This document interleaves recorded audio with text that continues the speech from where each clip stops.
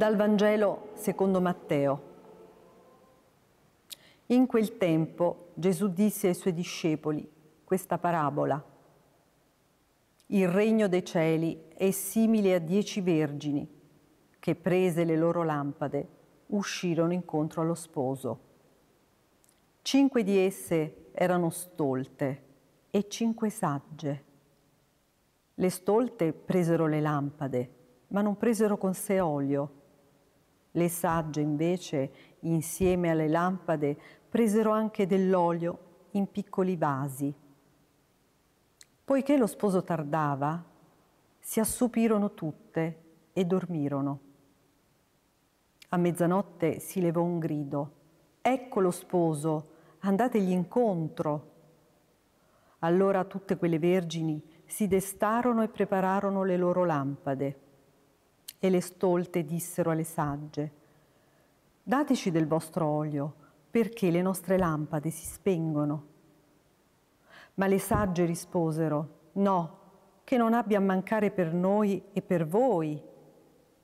Andate piuttosto dai venditori e compratevene. Ora, mentre quelli andavano per comprare l'olio, arrivò lo sposo e le vergini, che erano pronte, entrarono con lui alle nozze e la porta fu chiusa. Più tardi arrivarono anche le altre vergini e incominciarono a dire, Signore, Signore, aprici. Ma egli rispose, in verità vi dico, non vi conosco. Vegliate dunque, perché non sapete né il giorno né l'ora parola del Signore.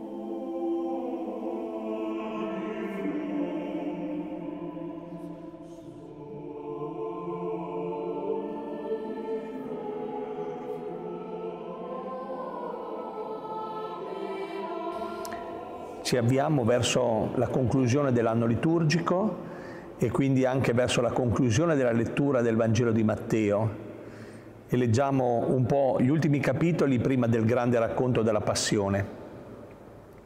In questi ultimi capitoli Matteo, come anche gli altri evangelisti, ci invitano a guardare verso la fine del tempo, la fine non solo la fine cronologica, ma anche verso il fine del tempo, cioè cos'è che ci attende? Ecco, non ci attende solo il nulla, anzi, non ci attende solo la morte, ci attende un incontro, ci attende un abbraccio, ci attende un volto. E allora in questa attesa che ci separa da quell'incontro, la parabola di oggi, la parabola delle dieci vergini, che riprende una scena eh, comune alla vita eh, diciamo ebraica del tempo di Gesù, la scena di un matrimonio in cui lo sposo accompagnato dai suoi amici eh, celibi, andava a prendere la sposa a casa sua, a sua volta attorniata dalle sue amiche nubili, che al tempo erano anche vergini di solito. Ecco perché si parla delle dieci vergini. C'è una sposa che attende lo sposo con le sue amiche e lo sposo arriva di notte, anzi tarda ad arrivare e queste ragazze, compresa la sposa, tutte quante si addormentano poi lo sposo a mezzanotte arriva, arriva in piena notte.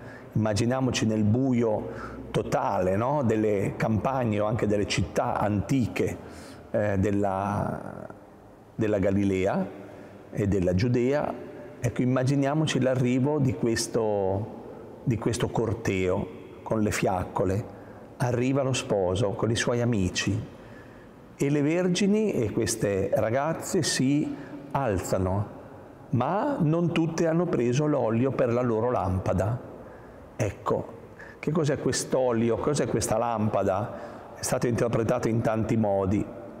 Io credo che sia, si, può, si possono dare tra, sicuramente anche altre definizioni, l'olio dell'amore, l'olio dell'attesa, l'olio dell'attenzione allo sposo che viene, l'olio della fede che si mantiene viva proprio nell'attesa dell'incontro, nell'attesa del bacio con Cristo.